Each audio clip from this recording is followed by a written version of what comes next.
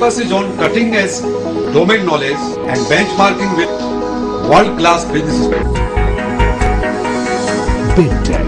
Police हस्तक्षेप नहीं सहेंगे नहीं सहेंगे नहीं सहेंगे रोटी जन्नादी आंदोलन में पुलिस हस्तक्षेप बंद करो बंद करो बंद करो तमिलनाडु सरकार मुर्दाबाद मुर्दाबाद मुर्दाबाद इनकलाब जिंदाबाद जिंदाबाद जिंदाबाद इनकलाब जिंदाबाद जिंदाबाद जिंदाबाद तूतूकरण में हुए पुलिस फायरिंग में मौतों का जिम्मेदार कौन तमिलनाडु सरकार जवाब दो जवाब दो। पुलिस फायरिंग में हुई मौतों का जिम्मेदार कौन? तमिलनाडु सरकार जवाब दो। जवाब दो जवाब दो। इनकलाब जिंदाबाद। जिंदाबाद जिंदाबाद। जनवादी आंदोलन में पुलिस हस्तक्षेप बंद करो। बंद करो बंद करो। जनवादी आंदोलन में पुलिस हस्तक्षेप नहीं सहेंगे। नहीं सहेंगे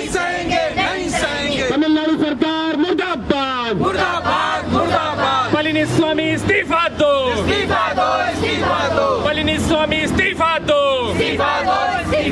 लोगों की जान की कीमत पर पूंजीपतियों से सौदा करना बंद करो बंद करो। वेदांता भारत छोड़ो। वेदांता भारत छोड़ो। भारत छोड़ो भारत छोड़ो। वेदांता भारत छोड़ो। भारत छोड़ो भारत छोड़ो। इनकलाब जिंदाबाद। जिंदाबाद जिंदाबाद। तमिलनाडु सरकार मुर्दाबाद। मुर्दाबाद।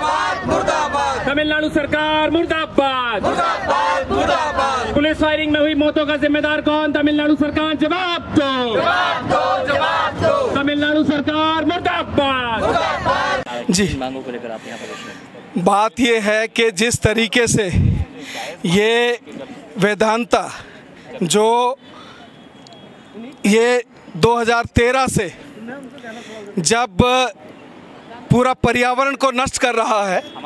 और गैस लीक से जब ये ये हुआ था, इसको बंद कर दिया गया था, उसके बावजूद फिर मिली भगत करके इसको चालू किया गया।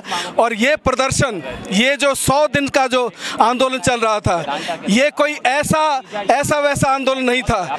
ये एक लगातार चल रहा आंदोलन, जनवादी मांगों को लेके आंदोलन था।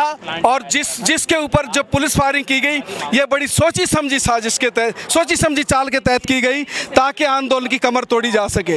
ये जो कोई इमोशनल इशू नहीं था कि लोग इकट्ठा हो गए और ईंट पत्थर चल गए ये होगा। नहीं, ये जनवादी मांग को लेके हेल्थ की मांग को लेके लगातार चलने वाला आंदोलन पाँच साल से जारी है समस्या और ये जब सौ दिन से लगातार चला, सुनी नहीं, लेकिन उसके ऊपर अनप्रोवोक्ड फायरिंग करके और वो भी फायरिंग भी सीधा ब्लैंक सीधा छाती में, ये एक शर्मनाक बात है। हम इसके खिलाफ इसका विरोध करते हैं सिर्फ़ नहीं इसके खिलाफ एक आंदोलन छेड़े छेड़ छेड़ेंगे पूरे हिंदुस्तान में। हम कंपनसेशन की मांग करते हैं हम वेदांता को बंद करने की मांग करते हैं इसके संयंत्र को तुरंत बंद किया जाए। हम मांग करते हैं दोषियों को जिन्होंने फायरिंग की ऑर्डर दिए हैं उन दोषियों को सख्त से सख्त सजा दी जाए और इनको उचित मुआवजा दिया जाए। आपका नाम क्या है?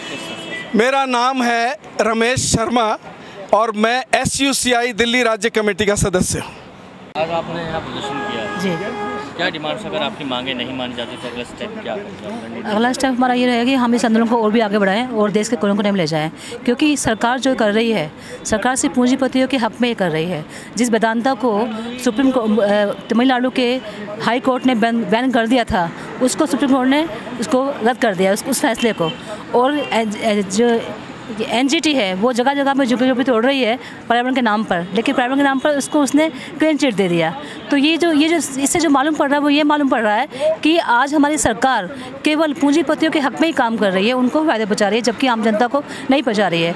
तो इस फायरिंग में इस प्रदर्शन को जो जो हज़ारों लोग प्रदर्शन कर रहे थे, उसके ऊपर जो गोलीबारी की है, ये गलत है। इसको नहीं करना चाहिए था, बल्कि उनकी मांग को मानना चाहिए था, प्रदूषण को रोकने की जो उनकी मांग थी। हम, अगर ये, यहाँ पर ये हमारी मांग नहीं मानी जाती है उनको मुआवजा नहीं दिया जाता है और और जिस जो उनकी मांगे उसको पूरा नहीं किया जाता है तो हमारी पार्टी पूरे देश भर में इस आंदोलन को फैलाएगी।